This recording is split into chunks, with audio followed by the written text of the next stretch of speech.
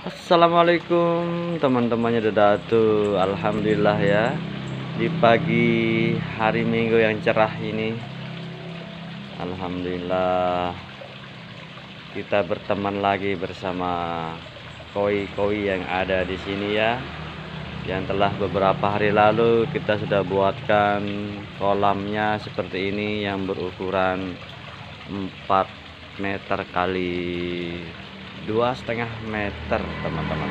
Ya Alhamdulillah ya. Suasananya hidup bersama koi memang sungguh sangat luar biasa.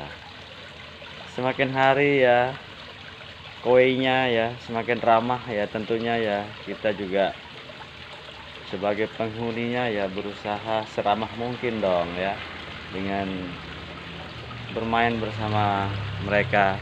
Kita mendekat seperti ini rupanya mereka semakin senang teman-teman dedatu.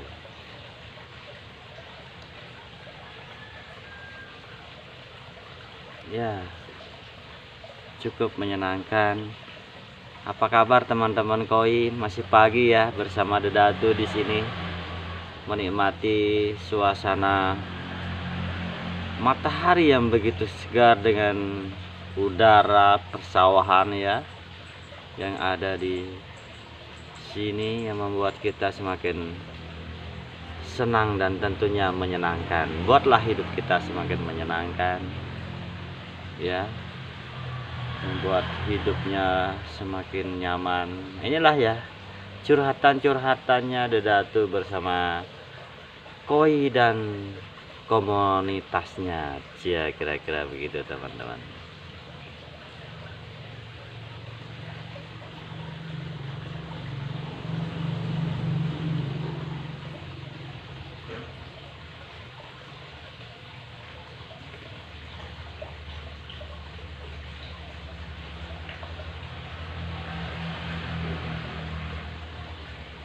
Jadi hari demi hari ya koi itu rupanya ya secara secara psikologi. Menurut Datu ya ketika kita semakin lama dia beradaptasi di tempat yang baru ini alhamdulillah lah tentunya dia semakin nyaman ya. Mungkin itu yang mereka rasakan gitu. Nah dari pengalaman beberapa hari setelah koi menempati tempat barunya ya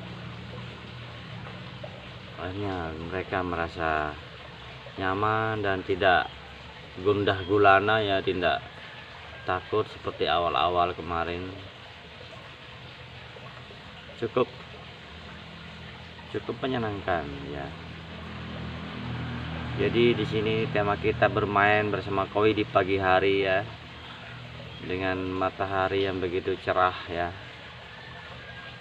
Cukuplah membuat stressing ya stres stres mungkin capek dengan kegiatan-kegiatan. Sambil kita berpikir masa depan yang lebih cerah mungkin ya. Di sini Dedatu bersama para koi ya.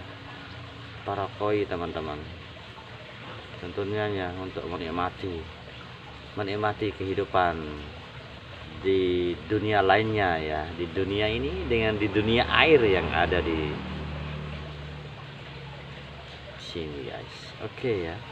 Mungkin itu saja ya sekedar sapaan pagi bersama koi. Dadatu assalamualaikum